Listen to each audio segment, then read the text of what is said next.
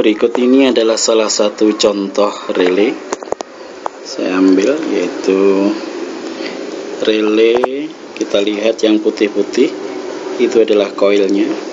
Tertulis di sana AC 220 volt. Berarti relay ini bisa digerakkan atau menjadi magnet listrik apabila dikasih arus listrik dengan voltase 220 volt. Ini seperti ini bentuknya yang dikeluarkan oleh omron kita lihat di sini ada pernya di atas ini untuk mengembalikan saklarnya. Kemudian di sini ada saklar di bagian atas ini. Kita lihat di sini ini adalah saklar dia naik ke atas normally close di atas yang bawah ini adalah normally open. Nah hubungannya di sini kita lihat ada skemanya. Yang seperti ini. Nah kita lihat di sini angkanya tertulis. Di sini ini ada angka 2 sama 7 dihubungkan ke lambang kotak seperti ini ini menunjukkan bahwasanya kaki nomor 2 nomor 7 ini berhubungan dengan koilnya.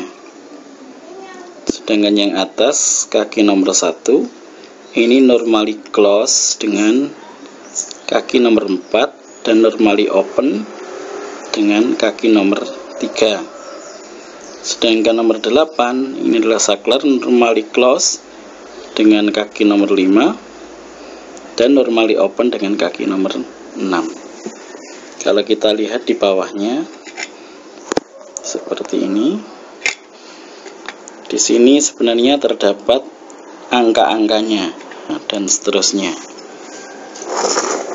Jadi di sini kelihatan mungkin tidak begitu jelas. Ya kemudian relay ini biasa dihubungkan dengan soketnya. Ini adalah soketnya dengan menggunakan soket ini, kita lebih mudah menghubungkan kabel-kabel yang keluar maupun masuk. Di dalam soket terdapat nomor kakinya juga.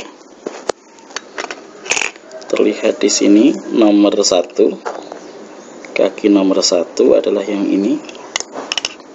Ini nomor satu, kelihatan angka satu di sini, angka dua di sini, berarti nomor dua di sini, nomor tiga di sini, ini adalah angka nomor 3 kemudian ini adalah angka nomor 4 nomor 4 kemudian ini angka nomor 5 nomor 6 kemudian nomor 7 di sini. Nomor 8 di sini. Oke kalau kita kembalikan tadi kita lihat di sini 2 sama 7 ke koil kaki 1 normally close dengan kaki 4 berarti di sini kaki nomor 1 di sini.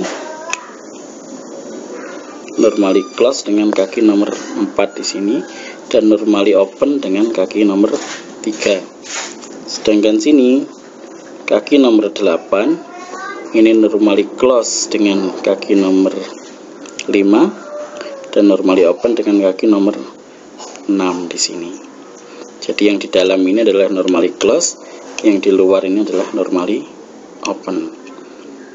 Oke bisa diingat-ingat sedangkan yang di tepi di sini yaitu di nomor 2 sama nomor 7 ini adalah untuk coil. Ini bisa kita tancapkan di sini langsung. Seperti ini. Ini sudah ada pinnya sehingga kita tinggal muter-muter tidak mungkin keliru sudah bisa masuk berarti sudah pas kaki-kakinya nah ini sudah masuk seperti ini. Di sini kita lihat soketnya. Ini bisa dihubungkan dengan rel. Relnya MCB bisa. Contoh rel MCB adalah seperti ini. Kita lihat seperti ini. Ini bisa kita pasang di tempat kita scrub ya kemudian relaynya bisa kita pasang di sini. Ini sudah standar internasional sehingga kita tidak perlu ragu lagi semuanya eh, tempat rel itu seperti ini. Ukurannya adalah tepat.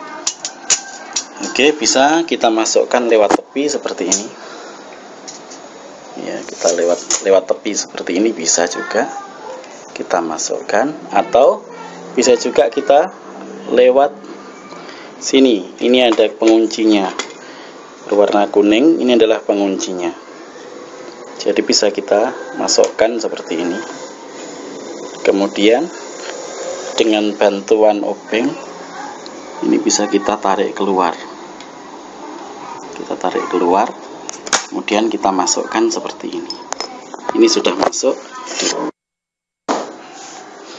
Di sini kita lihat sudah menancap ya ini penguncinya sudah mengunci di situ. Inilah gambaran fisik dari relay oke sekarang kita coba gimana relay ini bekerja.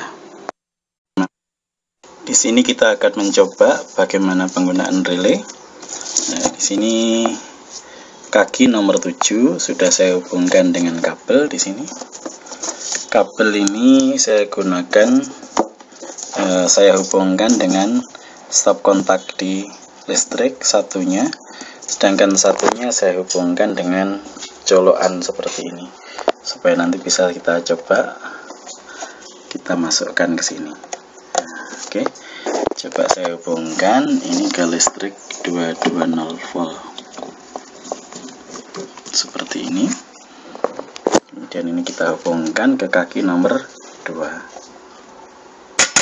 nah, ini kedengaran.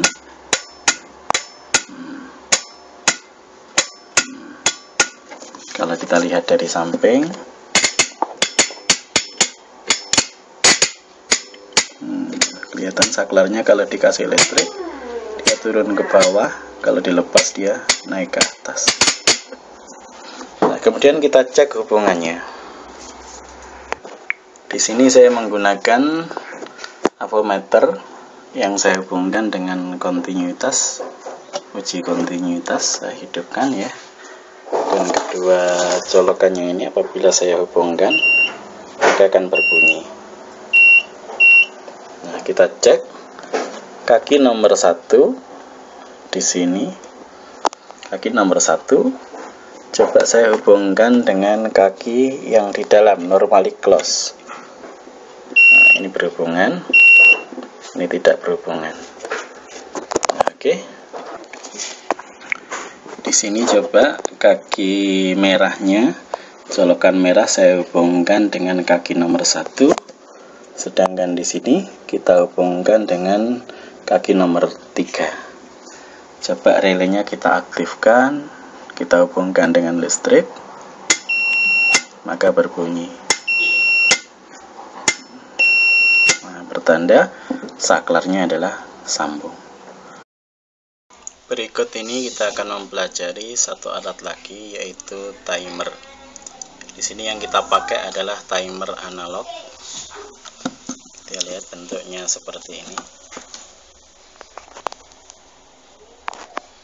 Ya, di sini kelihatan ada pemutarnya untuk memutar-mutar untuk mengatur waktunya.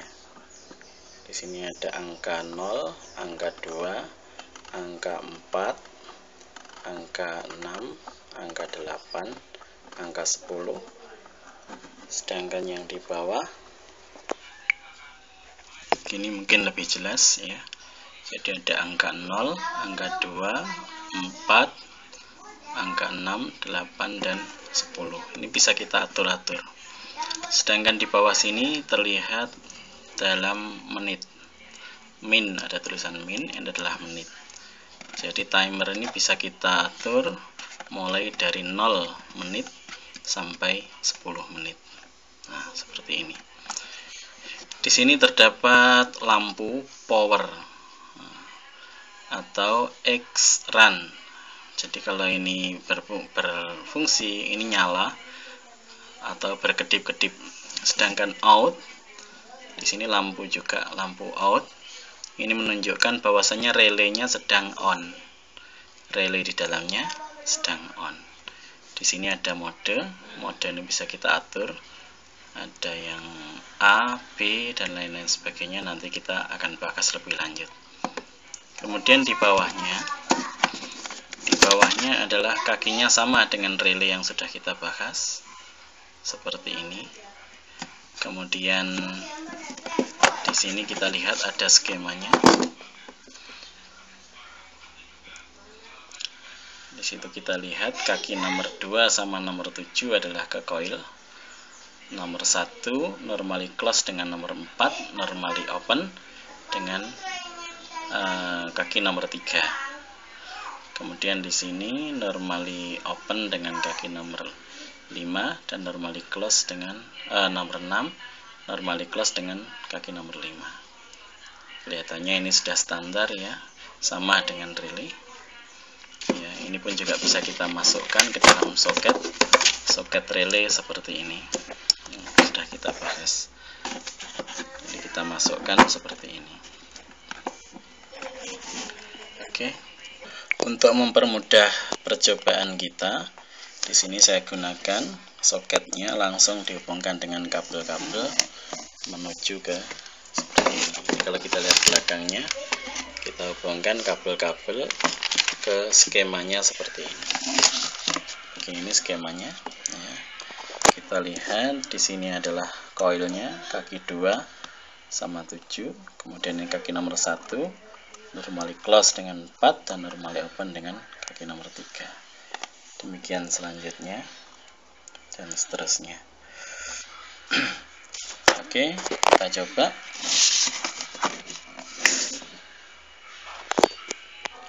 Di sini coba kita pasang relaynya. Kecil aja supaya dari nol kita tarik kira-kira beberapa detik saja. Kemudian di sini colokannya kita hubungkan ke listrik karena timer di sini ini bisa mulai dari 24 volt sampai 220 volt. Ini kita pakai AC 220 volt. Saya masukkan. Kemudian di sini kita lihat. Kita hubungkan. Lampunya berkedip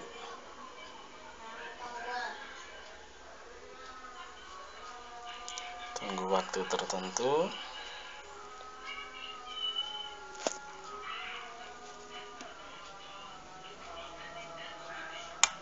Ini kita nyala sudah.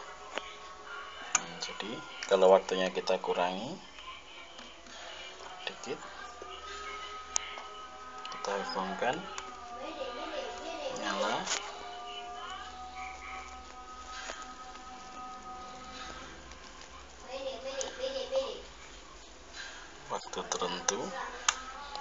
outnya menyala ini berarti relaynya on. Oke. Okay. oke okay, itu yang sudah kita praktekkan. Itu tadi adalah mode A. Sini kita lihat mode A. Jadi begitu timingnya sudah dilalui maka dia akan nyala terus. Sekarang kita coba yaitu dengan mode yang lainnya. Misalkan kita pilih sini kita set mode A1 kelihatan mode A1 kita lihat di situ. A1 ya. Coba kita uji coba. Kita masukkan di sini. Kita lihat di situ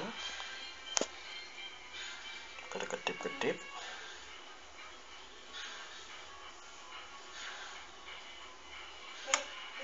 nyala terus langsung mati. Dia tidak menghitung lagi. Lalu mode 1 A1 adalah hidup sebentar kemudian mati. Saya ulangi lagi, memasukkan. Ya menghitung